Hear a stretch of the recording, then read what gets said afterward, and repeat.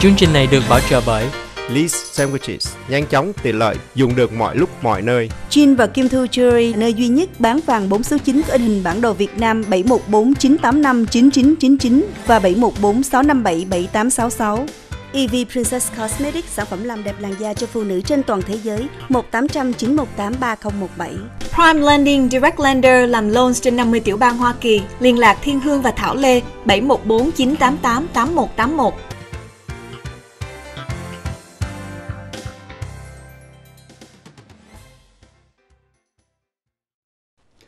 Kính thưa quý vị, khởi đi từ cuộc tranh cử năm 2016, người ta nói đến Ivan Trump. Ivanka Trump là con gái của Tổng thống Donald Trump, là một trong những người phụ nữ duyên dáng kế cạnh bên ông, bên bà ta là người chồng Jess Kushner. Cặp đôi này có thể nói là một trong những người thân cận với Tổng thống Donald Trump kể từ khi khởi đầu cho chiến dịch tranh cử năm 2016 và sau một năm dài ở tại Washington DC trong cung điện White House. Người ta nói đến quyền lực của Ivanka giống như là một cố vấn chính sách cao cấp của Tổng thống và có thể nói rằng Ivanka là một người được coi như thân cận vì cô ta là con gái của Tổng thống Donald Trump. Sự kiện xảy ra ở tại Triều Tiên trong những ngày cuối tuần vừa qua. Kính thưa quý vị, đó là sự kiện Ivanka đại diện cho Tổng thống Hoa Kỳ có mặt trong ngày bế mạc Thế vận hội mùa đông tại Nam Hàn. Những sự kiện gần đây cho thắng rằng cho thấy rằng Ivanka đã có thể có những mối tiếp cận gần gũi với Tổng thống Donald Trump hơn là ông Kelly, chánh văn phòng của Tổng thống Donald Trump, một trong những người cai quản toàn bộ phía Tây của White House.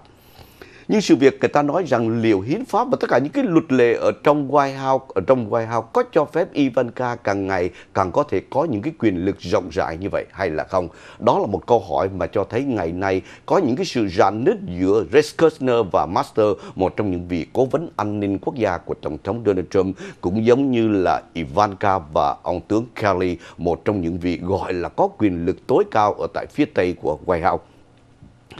Tất cả những người ta nói đến về, người ta thấy Kushner cũng giống như Ivanka đã đấu tranh để có được vĩnh viễn một cái hồ sơ an ninh, để hầu có thể coi được tất cả những cái hồ sơ gọi là mật nhất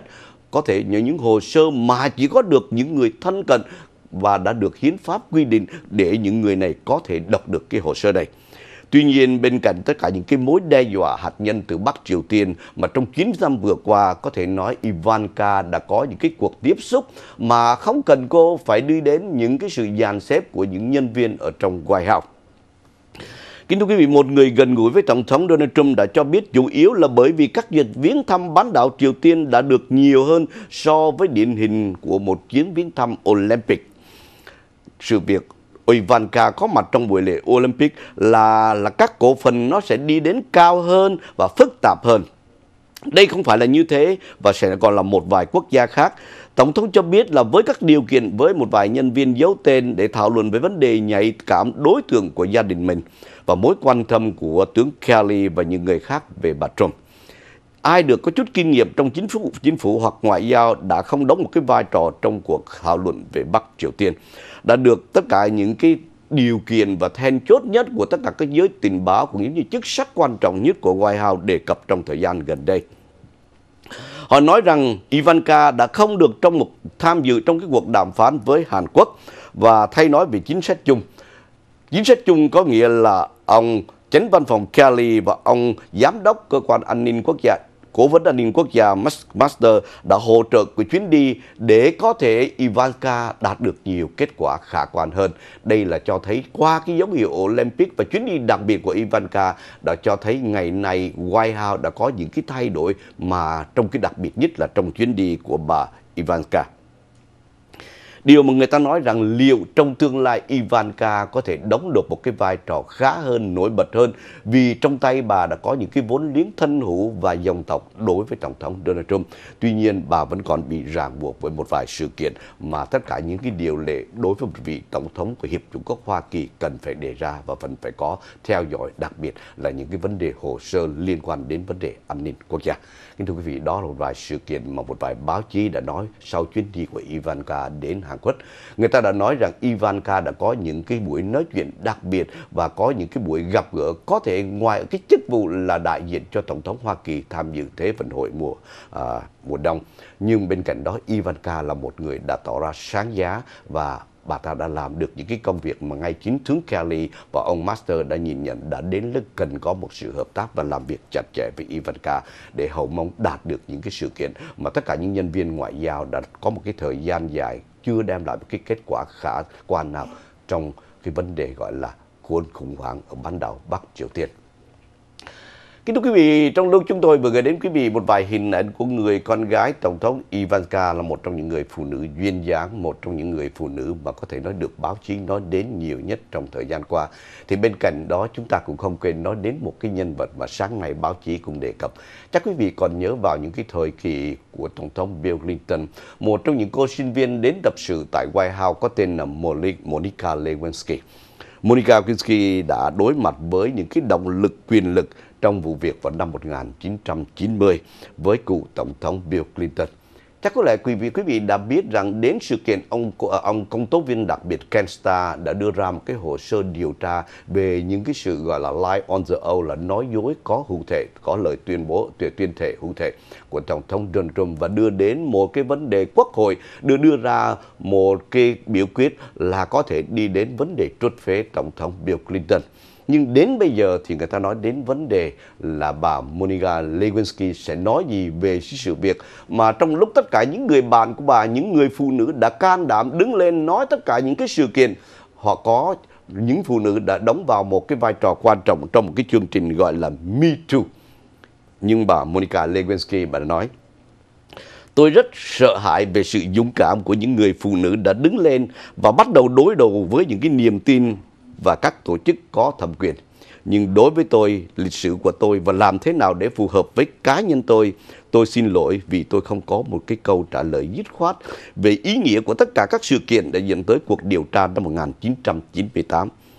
Tôi đang giải nén và xử lý lại những gì đã xảy ra đối với tôi. Lewinsky, Lewinsky đã viết trong một cái bài báo xuất bản vào Chủ nhật vừa qua về vụ việc Lewinsky với Clinton đã được công bố cuộc điều tra năm 1998 98 bởi tiến hành của cố vấn công cầu của công tố viên đặc biệt có tên là Ken Starr. Vụ án đã dẫn đến lời buộc tội cuối cùng của Tổng thống Bill Clinton vì đã, ông ta đã tuyên thệ về mối quan hệ trong số những lời phát biểu khác.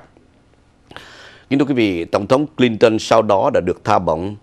Tổng thống Bill Clinton muốn cân nhắc liệu có nên công bố các tài liệu bồi thẩm đoàn vào năm 1998 Bill Clinton muốn cân nhắc liệu có đưa ra những điều đó trước khi Monica Lewinsky đưa ra hay là không. Người ta tiết lộ rằng cô bị hiện nay cô đang bị một cái gọi là một cái sự kiện gọi là chứng rối loạn thần kinh căng thẳng chấn thương do những hành động mà cô đã, đã đưa lại cho cô vào năm 1999 của những 1998. Kính thưa quý vị, đó là một trong những cái sự việc mà người ta nói đến bắt đầu rất nhiều và có thể rằng bà Monica Lewinsky với những cái gọi là cái sự trợ giúp của một cái phong trào Me Too để sẵn sàng đưa bà nói lên tất cả những sự kiện liên quan đến vấn đề Tổng thống Bill Clinton và Monica Lewinsky, người ta gọi là một scandal tình ái vào thời điểm đó. Nhưng Monica Lewinsky đã tuyên bố những cái sự việc này là do sự chấp thuận và đồng ý của tôi bởi thế, chúng ta sẽ đi vào một cái khúc quanh mới. Liệu Tổng thống Bill Clinton có sử dụng quyền hành của ông ở trong cái vai trò Tổng thống của Hiệp Trung Quốc Hoa Kỳ đối với một người phụ nữ bước chân tập tịnh vào White House để tập tịnh học nghề ở tại White House hay là không? Và kính thưa quý vị, qua cái thư ngõ thì bà thừa nhận những cái mô tả trong quá khứ của bà về vụ việc và bà nhấn mạnh rằng mối quan hệ quan hệ này là một cái sự đồng thuận. Bà không đề cập tới cái động lực của sự đồng ý Cụ thể là về là một chuyên gia về Nhà Trắng trong những năm đầu của bà và Bill Clinton là một trong những người đàn ông có quyền lực nhất thế giới vào thời đó. Bây giờ, theo lời bà nói, bây giờ tôi thấy vấn đề của hai chúng tôi thậm chí đã đến một nơi mà có một câu hỏi về sự đồng ý. Lẽ dĩ nhiên người ta muốn hỏi rằng cái sự trao đổi scandal, những cái sự việc tình dục có thể có xảy ra giữa hai người là một cái sự đồng ý hay là không. Thay vào đó là con đường dẫn tới đó là sự lăng mạ và bị lạm dụng không đúng thẩm quyền. Kính thưa quý vị, đó là người ta đề cập đến. Đó là vấn đề Monica Lewinsky có nói lên cái sự đồng ý. Và bên cạnh sự đồng ý đó thì có một cái sự lăng mạ bởi cái vấn đề lạm dụng hoặc là không đúng thẩm quyền không. Lewinsky đã cũng đã tiết lộ rằng cô đã gặp Kevin Starr, người mà cô đã biến cuộc sống của cô, người mà cô đã lo sợ và biến cuộc sống của cô trở thành một địa ngục sống lần đầu tiên ở New York vào mùa đông năm 1998. Cô đã, cô không năm ngoái cô lại gặp thêm được Kevin Starr một lần nữa và cô nói cái Starr đã hỏi cô nếu cô làm tốt đó, thì mọi việc có thể phỏng đoán được như thế nào không nhưng cô đã nói rằng đến bây giờ Kevin Starr cũng chưa có một cái lời xin lỗi cô về những cái sự việc mà đã đối xử với cô trong cái thời gian ở cái giai đoạn phỏng vấn cô với một cái quyền hành ở trong tay rất nhiều. Kính thưa quý vị, đó là một vài sự việc mà người ta nói đến rất nhiều ở trong một cái những cái sự kiện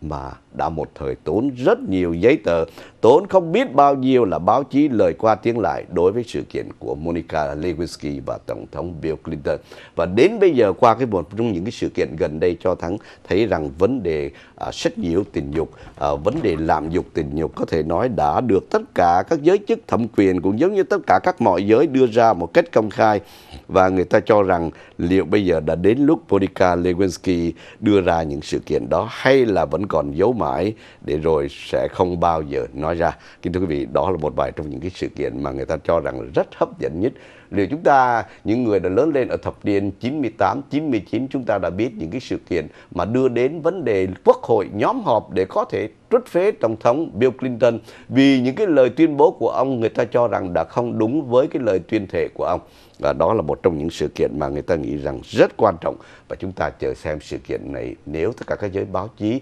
họ à, dồn mọi cái nỗ lực vào để đưa ra sự kiện thì chúng ta thấy sự kiện này nó sẽ trở thành như thế nào. Quý vị đang cùng với chúng tôi qua cà phê sáng chúng tôi trở lại với quý vị trong giây lát.